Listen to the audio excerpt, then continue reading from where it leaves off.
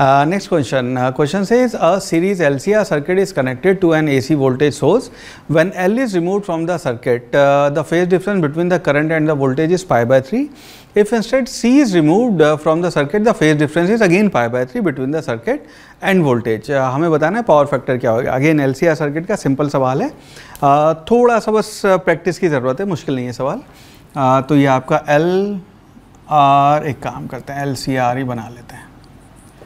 ये आपका सर्किट है और ये आपका एक पावर सोर्स लगा हुआ है तो ये आपका एक्सएल ये एक्स और ये आर और जेड अपने को पता है, ये होएगा R square plus XL minus X का स्क्वायर ये आपकी जेड की वैल्यू आ जाएगी। नाउ जब हमने आ, पहले क्या हटाया था? एल इज़ रिमूव तो जब हमने एल हटा दिया तो उस केस में जो आपका टेन थीटा बना टेन पाई बाय थ्री या फेस आपका वो आया डिफरेंस तो that will be equal to X C divided by R ये वैल्यू हो गई।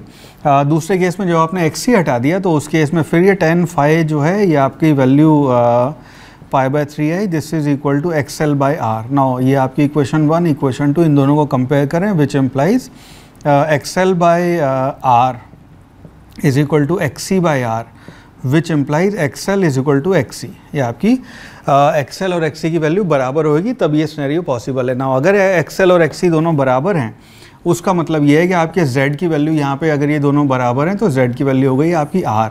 और अपना जो पावर फैक्टर होता है कॉस फाइव उसको हम लिखते हैं आर डिवाइडेड बाय z यानी कि उसकी वैल्यू वन आ गई. ठीक है? तो कॉस फैक्टर यहाँ पे आपका वन हो जाएगा. That will be our final answer